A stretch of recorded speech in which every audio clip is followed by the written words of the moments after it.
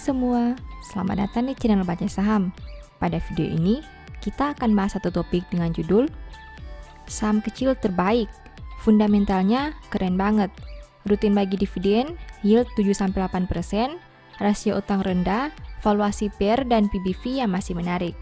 Untuk itu, simak video ini sampai habis ya, agar mendapat pemahaman yang utuh. Ada satu saham kecil yang jarang dibahas, tapi cukup menarik. Kenapa? Total asetnya hanya 9 triliun, tapi mereka bisa menghasilkan penjualan sebanyak 18 triliun. Saham ini juga konsisten bagi dividen setiap tahun dengan yield sekitar 7-8%. Dari sisi laporan keuangan, saham ini punya laba yang tumbuh, utang yang rendah, dan rasio yang baik. Selain itu, valuasi yang ditawarkan juga masih menarik dan belum mahal. Sekarang, saya mau bahas laporan keuangan triwulan 3 2021 saham ini. Berhubung laporan keuangan terbarunya sudah terbit, mari kita lihat perkembangan kinerjanya. Oh ya, di akhir video, saya akan memberikan kesimpulan dari analisa yang dilakukan. Untuk itu, nonton sampai selesai ya. Namun seperti biasa, pembahasan ini bersifat edukasi dan bukan rekomendasi. Kamu bisa saja rugi jika beli saham ini. Untuk itu, selalu berhati-hati sebelum membeli saham. Disclaimer on ya. Oke, mari kita bahas laporan keuangan terbaru saham ini. Pertama, aset. EPMT punya aset 9,77 triliun di tahun 2021. Sedangkan di tahun 2020, asetnya berjumlah 9,21 triliun. Artinya, aset perusahaan naik 0,56 triliun atau 6,08 persen dalam satu tahun ini. Sekarang mari kita analisa lebih jauh.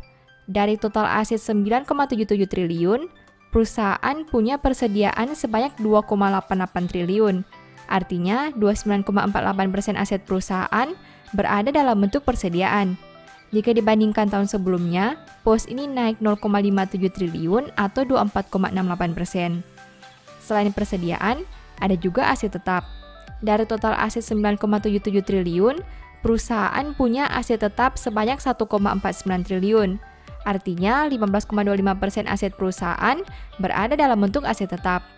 Jika dibanding tahun sebelumnya, pos ini turun 0,04 triliun atau 2,61 persen.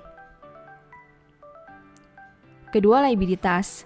EPMT punya liabilitas 3,1 triliun sampai triwulan 3 2021. Sedangkan di tahun 2020, liabilitasnya berjumlah 2,65 triliun. Artinya, utang perusahaan naik 0,45 triliun atau 16,98 persen dalam satu tahun ini. Nah, dari total liabilitas 3,1 triliun, perusahaan punya utang usaha pihak berelasi sebanyak 1,91 triliun. Artinya 61,61% persen hutang perusahaan berada dalam bentuk utang usaha pihak berelasi. Jika dibanding tahun sebelumnya, pos ini naik 0,09 triliun atau 4,95%. persen. Selain utang usaha pihak berelasi, ada juga utang usaha pihak ketiga. Dari total liabilitas 3,1 triliun, perusahaan punya utang usaha pihak ketiga sebanyak 0,72 triliun. Artinya, 23,23% persen total hutang perusahaan berada dalam bentuk utang usaha pihak ketiga. Jika dibanding tahun sebelumnya, pos ini naik 0,25 triliun atau 53,19 persen. Ketiga, ekuitas. EPMT punya ekuitas 6,66 triliun sampai triwulan 3 2021. Jika dibanding tahun sebelumnya dengan angka 6,54 triliun, berarti ekuitas perusahaan naik 0,12 triliun atau 1,83 persen. Nah, dari total ekuitas 6,66 triliun, perusahaan punya saldo laba yang belum ditentukan penggunaannya sebanyak 6,19 triliun. Artinya 92,94% persen ekuitas perusahaan berada dalam bentuk saldo laba yang belum ditentukan penggunaannya. Jika dibanding tahun sebelumnya, pos ini naik 0,13 triliun atau 2,15 persen. Keempat, pendapatan. EPMT punya pendapatan 18,81 triliun sampai triwulan 3 2021. Sedangkan di tahun 2020, pendapatannya berjumlah 16,86 triliun. Berarti pendapatan perusahaan naik 1,95 triliun atau 11,57 persen dalam satu tahun terakhir. Kelima, biaya pokok pendapatan. EPMT punya biaya pokok penjualan sebanyak 16,68 triliun. Sedangkan di tahun 2020, biayanya berjumlah 15,08 triliun. Berarti biaya pokok pendapatan naik 1,6 triliun atau 10,61 persen dalam satu tahun terakhir. Keenam, laba. EPMT mampu menghasilkan laba sebanyak 0,67 triliun. Jika dibanding tahun sebelumnya di angka 0,43 triliun, Berarti laba perusahaan naik 0,24 triliun atau 55,81 persen dalam satu tahun terakhir. Ketujuh rasio keuangan. EPMT punya ROE 13,52 persen dengan NPM 3,59 persen. Sedangkan untuk sisi resiko, saham ini punya DER 46,64 persen. Rasio dan DER perusahaan ini sangat menarik dengan angka yang berada di atas rata-rata industrinya. Tapi dari sisi NPM, terlihat rasionya agak kecil. Artinya, perusahaan hanya mempunyai margin laba bersih yang kecil dibandingkan total penjualannya. Kedelapan, valuasi. Saham ini punya PER 7,67 kali dan PBV 1,04 kali.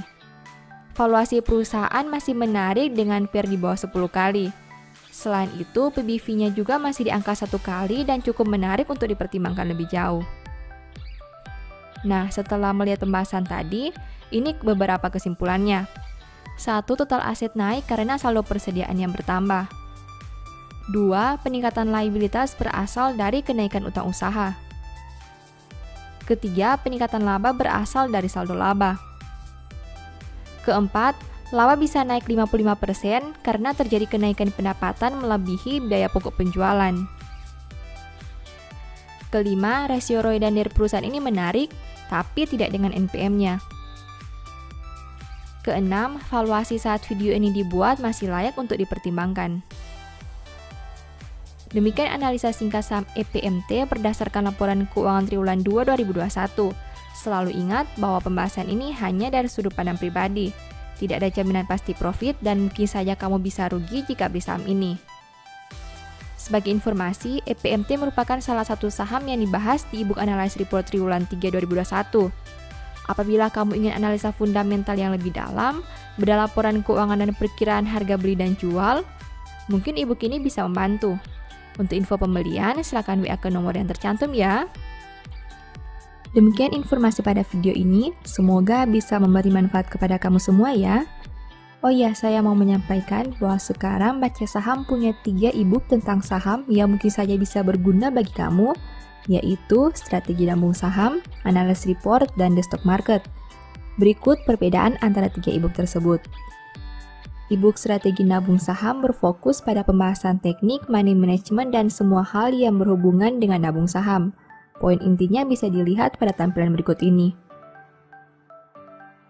E-book Report berfokus pada hasil analisa fundamental 12 saham pilihan berdasarkan laporan keuangan terbaru, Poin intinya bisa dilihat pada tampilan berikut ini. Ebook The Stock Market berfokus pada panduan bagaimana menganalisa fundamental suatu perusahaan dan money management yang baik. Poin intinya bisa dilihat pada tampilan berikut ini. Apabila kamu tertarik membeli salah satu dari tiga ebook tadi, silakan chat WA ke nomor yang tertera di layar ya. Ingat, hati-hati terhadap semua jenis penipuan yang mengatasnamakan baca saham. Baca Saham tidak pernah mengelola dana ataupun melakukan penjualan produk di luar Instagram, YouTube, dan Telegram resmi Baca Saham. Sebagai penutup, saya mau mengutip satu statement yang semoga bisa menjadi semangat bagi teman-teman. Memperoleh hikmat sungguh jauh melebihi memperoleh emas, dan mendapat pengertian jauh lebih berharga daripada mendapat perak. Thank you.